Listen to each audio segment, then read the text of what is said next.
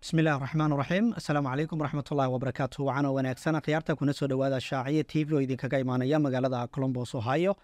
Waxaa barnaamijkan gaarka ah marti inoogu ah hibe maxamed hibe nuur ah oo aad aad u wada taqaanaan. Waxaan jeclahay marka hore inaan shaaciya t v ku soo dhaweeyo. Kusoo dhowow ugu horeyn su'aashaan raba inaan ku weydiiyo waxay tahay dhowaan waxaad aasaastay urur aad ugu magac dartay hibo foundation ururkaasi. Maxay tahay sababtaad u aasaastay?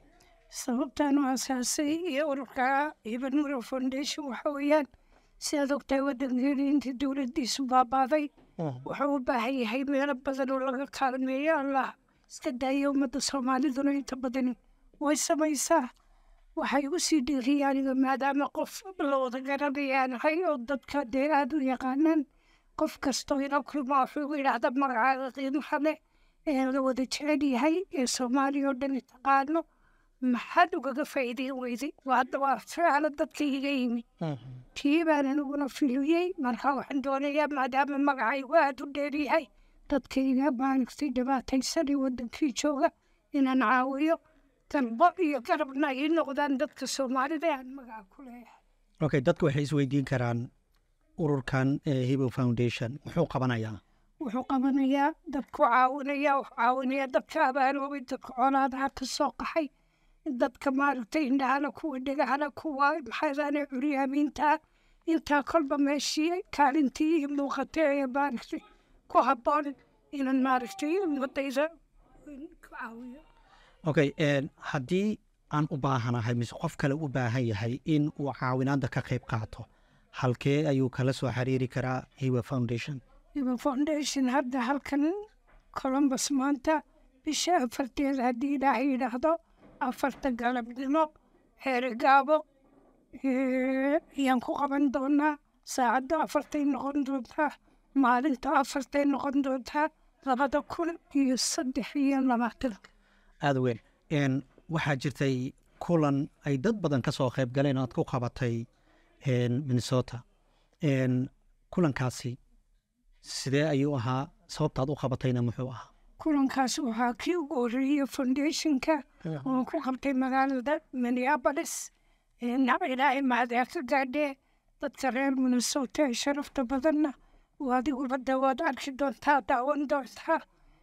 Hadday tahay culammadii sharafta lahayd kuwii ugu waaweynaa hadday tahay madaxdeennii hadday tahay senataradii hadday tahay maalqabeenkii brofesoradii looyaradii iyagoo ka wada hadlayaad halkan arki doontaa waana dadkii gacanta koobaad siiyey ee igu soo dhaweeyey aniguna dhiirigeliyey inuu sameeyo waa hagaag ururkan adiga kuma aadan tala jirin inaad samayso dadka ayaa kugu yiri maad magacaagii ummaddii soomaaliyed uga faa'iidaysid waad samaysay xafladdii ugu horeysay ayaad samaysay qaabka looga soo qayb galay markaad aragtay. Iyo dadka waxay kuu sheegi jireen maxaa kuu baxay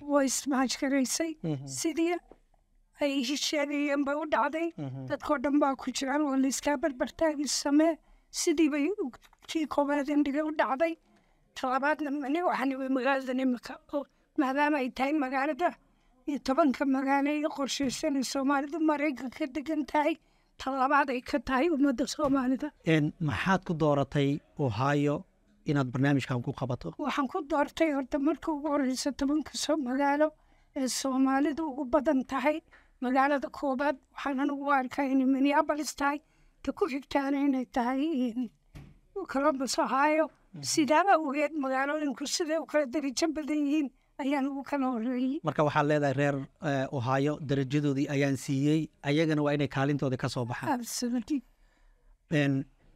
Shacabka colombos ohio ku nool ee soomaalida ah.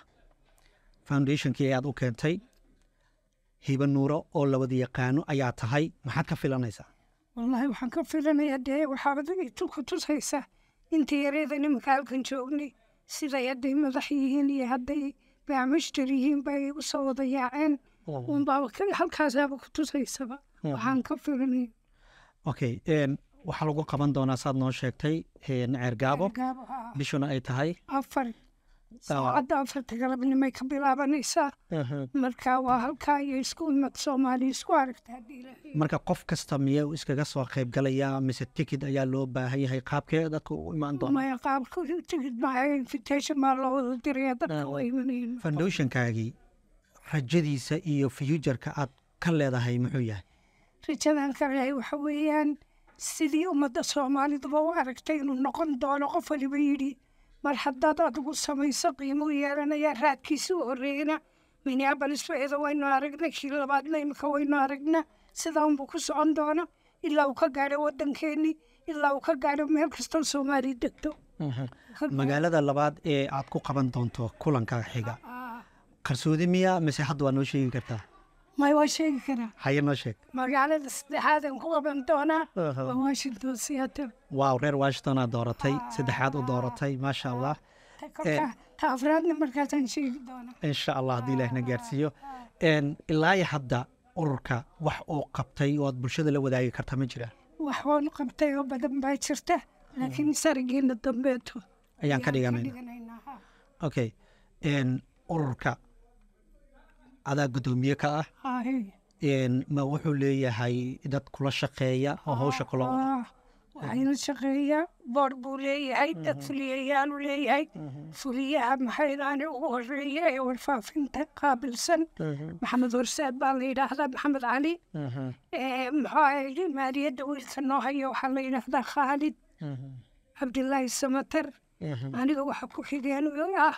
Inta la yidhaahdo hawl cali waraabe luqmaan saaxiibadii cadarka ahin baa iyadana qofka fuliyaha weyne aad iyo aad culus iyadaa ka mid ah boor baanu leenahay xafiisyaanu leenahay wax walba way noo dhan yihiin aada u weyn ohio intaad joogtay maxaad kala kulantay wallaahi waxaan kala kulmay ina yaroo walaashay dhashay baanu imi halkan arooskeedii markii hore si fiican arooskii markii dadku ka soo qayb galeen dee sidii ii arki jireen ubay arkeen iyo farxaddii iyo wanaaggii iyo iska garan kartaa dee u yimi anigoo kale iyo wixii ka dhici lahaa unbaa ka dhacay maasha allah aada u weyn haatan ee, ugu dambeyntii xafladda markaad qabato.